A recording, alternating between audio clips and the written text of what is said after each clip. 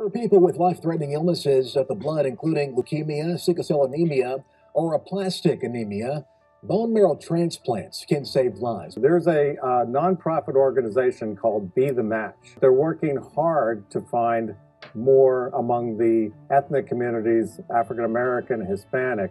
Students at Heritage High School in Frisco are rallying around a recent graduate. He's the youngest of four kids, and he's the kid who never been sick before.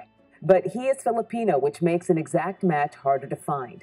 So students at Heritage High organized a swab drive, an attempt to get more people to be tested with a simple swab donation of saliva to see if someone in North Texas might be able to save Daryl's life. Since the 2000s, there has been a lack of donors in the bone marrow registry. This affects the chances of patients of different ethnicities to find a match and in turn find a cure.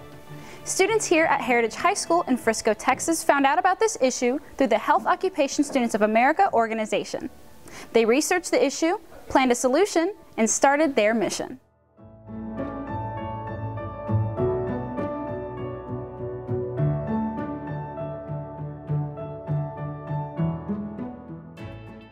Uh, last year, when I did HOSA competition, I competed in healthcare issues. So healthcare issues is basically when you educate yourself on all the things that are going on in the healthcare world, which is basically like obesity rates and you know heart disease and like different things that are happening, like different virus outbreaks, like all over the United States. And you get to like, it really forces you to educate yourself on what's going on in the healthcare community. I was in HOSA last year too, and I did some volunteering then, just around helping uh, in a couple situations at like a hospital and stuff. One of my uncles is a doctor. I've volunteered with him a couple times. I came to all like the different meetings, met a bunch of speakers, talked about like they talked about their careers and like I knew that's something I wanted to do. And by the end of um, last year, I ended up um, running for officer because I knew it was something I wanted to do with my future career. Uh, Neil, Piyush, and Abhi, they are my teammates, and we have actually gone to middle school together, so we've known each other for quite a while. And I think it just came to us. We were like, hey, let's take on community awareness this year and see where it takes us. In HOSA, we do this thing where we get to call an actual professional of a certain profession and have them talk about their profession, which is really cool because you can explore other professions and see what people in the field have to say about it. A Be the Match representative, which is a big bone marrow donation agency or stem cell donation agency, uh, they came to us and they presented to our school uh, in all of the health science classes and med term classes and such. And uh, we listened to her presentation and we were like, oh, this relates to what we're doing. It's really interesting. Uh, we talked to her a bit and she started giving us some uh, details on what we could do to help. When Miss um, Cannon came in, when she talked about it, like we realized what a big issue it was because she showed us that like chart that showed us the diversity between people in the registry, and like right away, just looking at that, we were like, that's a big like issue right here when we said people who are like a different race can't find their match just because like people aren't in the registry. We were like, we really need to do something about this, and obviously we know that Frisco is such a diverse community, and so we knew that we could make a big impact by doing something like that here. We needed to choose a topic where um, it was like an issue or something that society may not know much about and we needed to educate the community and bring awareness to the topic and uh, through that maybe hold some sort of event or drive or something like that. And so we kind of decided why don't we do maybe bone marrow donation because we had like lots of good ideas to go with that. Well, we all thought back to like there was a recent story where um, this man died uh, in a stem cell donation transplant. And uh, we were um, thinking about that. We're like, oh, there's a lot of stigmatic belief because people are now afraid to sign up for the registry and such. People won't sign up, they won't come in. Um, my mom was talking about it actually a few days before uh, any of this had even started.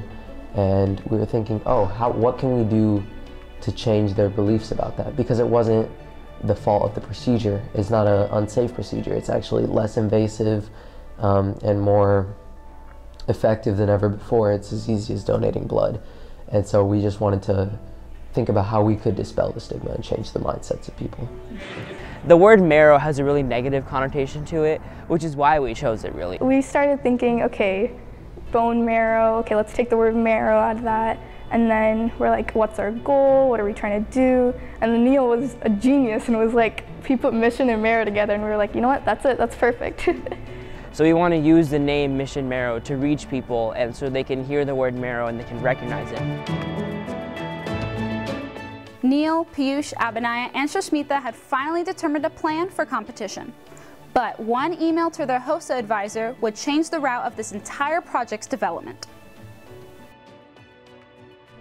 Through Be the Match, we were able to connect. Um, like she brought us back to uh, one of the people she was working with currently was Daryl, and Miss Lark saw Daryl's picture and was like, wait a second, this kid was in my class. He used to go to Heritage. He is a graduate of Heritage, and uh, from there, everything's just like started coming so fast. So Daryl was in my class in med term, um, his junior year, and then um, when he started his, the beginning of his senior year, he was in school one day and then uh, fell ill and never came back to class.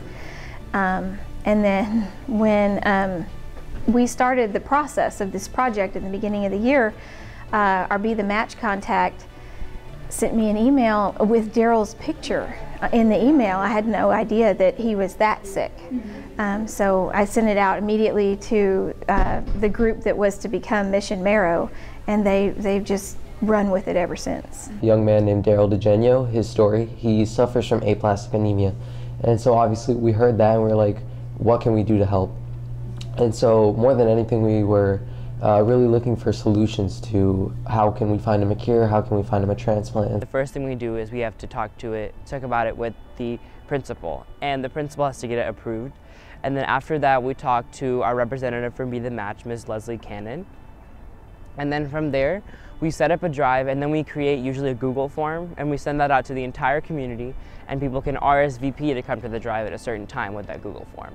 And then once they come, they fill out a short questionnaire and then do the uh, buccal swab kit and then they're on the registry. I think our main goal was to kind of get students to let their uh, parents and um, teachers know about it as well.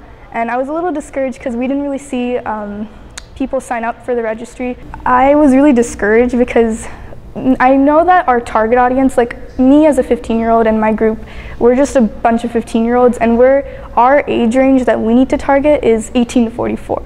So the fact that we're like trying to show, like tell our school about it, we're not getting much help there because I mean, we are just students and there's not much we can do ourselves, right? And so when we were on NBC and Fox and ABC, like everyone in the area heard about us and then um, the Texas Congress members found out about us. And so our exposure has really been just like upping, you know, there's like different levels of exposure. So first it was our heritage community, then it was our regional community, and now it's the state community. And so, I mean, you know, it just goes up from here. Like, you know, there's no stopping us. I definitely did not expect as big of a turnout as we got at the um, drives and the volunteering as a whole because most drives only get like 20 to 30 people signed up there unless it's like a really big they invest money and all that.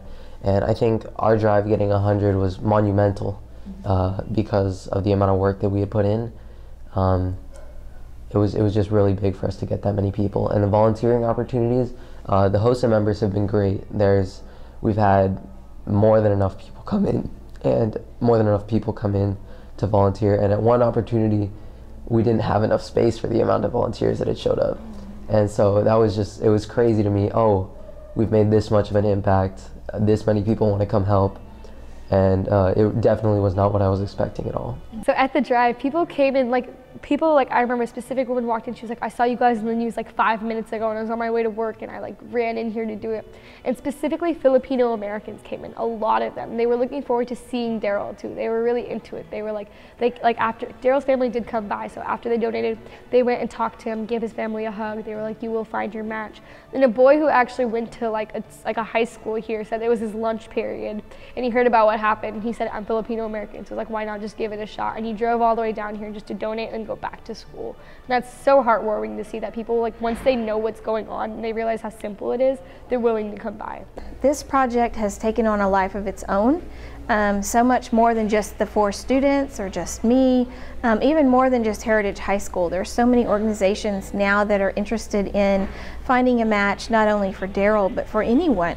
This project has definitely become more than a competition at this point. It's become something we're personally connected with and um, it's taking a big, big portion of our lives. So even after competition, once it's all said and done, we're still going to keep it going and keep continuing this into the future because it's more it's more than just a way to buff up our college applications and stuff. It's um, it's become a, a mission, mission.